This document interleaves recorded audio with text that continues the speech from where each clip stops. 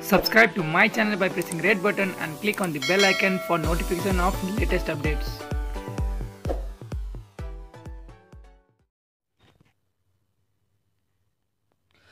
Party school विभागको प्रमुखबारे सहमति नजुटेपछि मङ्गलबार बोलाइएको नेपाल कम्युनिस्ट पार्टी नेकपाको सचिवालय बैठक स्थगित भएको छ सोमबार साँझ शीर्ष नेताहरूबीच सहमति नजुटेपछि सचिवालय बैठक अनिश्चित भएको हो पार्टीको दृष्टिकोण र सिद्धान्तबारे तल्लो तहसम्म सैद्धान्तिक प्रशिक्षण तथा स्कुल सञ्चालन गर्ने विभागको प्रमुखमा पूर्व एमालेबाट ईश्वर पोखरेल र पूर्व माओवादीबाट नारायण काजी श्रेष्ठको दाबी रहेको छ।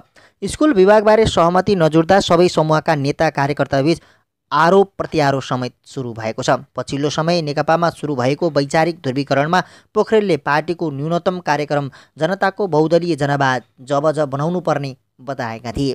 त्यही कारण पूर्व माओवादीले पोखरेललाई स्कुल विभागको प्रमुख स्वीकार गर्न नमानेको उनी निकटवर्तीहरूको बुझाइ छ। साथै पूर्व एमालेको एउटा खेमाले पनि पोखरेललाई पेल्ने अवसरका रूपमा यो प्रकरणलाई प्रयोग गरेको पोखरेल निकटका नेताहरू बताउँछन्। नेकपा केन्द्रीय सदस्य सूर्य थापाले पार्टी अध्यक्ष प्रचण्डमाथि पूर्व एमालेभित्र खेल्न खोजेको आरोप लगाए। विभिन्न सञ्चार माध्यमको प्रयोग गरेर पोखरेलको मानमर्दन गर्ने काम भइरहेको भन्दै उनले पूर्व एमाले नेताहरूको मर्यादा नराख्ने हो भने प्रचण्डको मर्यादा राख्न पनि आफूहरू बाध्य नहुने चेतावनी दिए। स्कुल विभागको विवाद चलिरहेका बेला सचिवालय सदस्य तथा उप प्रधानमन्त्री तथा रक्षा मन्त्री ईश्वर पोखरेलले भने विभिन्न कार्यक्रममा सहभागी हुन प्रदेश नम्बर एकतिर लागेका छन्। पूर्व माओवादी पक्षबाट सिलसिलेवार आक्रमण भएको भन्दै उनले स्कुल विभागबाट पछि नहट्ने सन्देश अध्यक्ष ओलीलाई दिएको स्रोतले जनाएको छ। पार्टी प्रवक्ता समेत रहेका नारायण काजी श्रेष्ठले पनि स्कुल विभाग प्रमुखमा आफ्नो दाबी छाडेका छैनन्। श्रेष्ठलाई स्कुल विभाग प्रमुख बनाउन पूर्व माओवादीभित्र एक मत छ। पार्टीको वरियतामा पनि पोखरेल भन्दा श्रेष्ठमाथि छन्।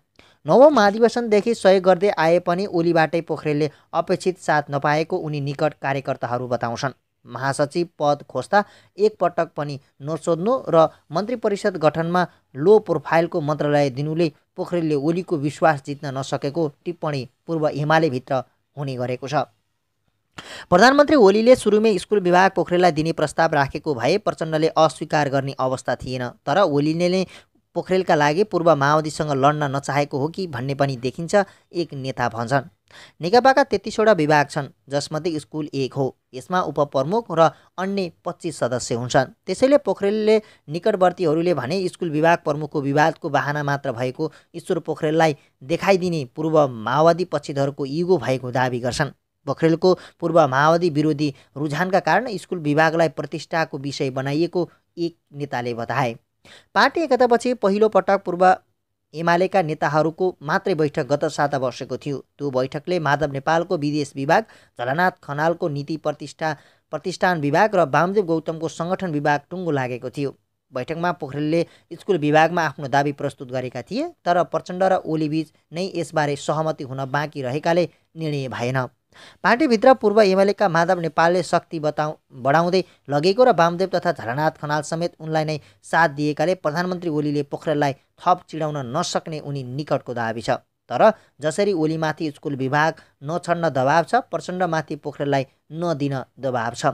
यो विवादमा केही नेताले तत्कालका लागि स्कुल विभाग दुवै अध्यक्षले हेर्ने गरी राख्ने विकल्प हुने तर्क गरेका छन्। तर विवादका बीच श्रेष्ठ र पोखरेलमध्ये एकजनालाई स्कुल विभाग प्रमुख बनाउने वा तत्काल खाली राख्ने ओली प्रचण्डको हातमा रहेको छ।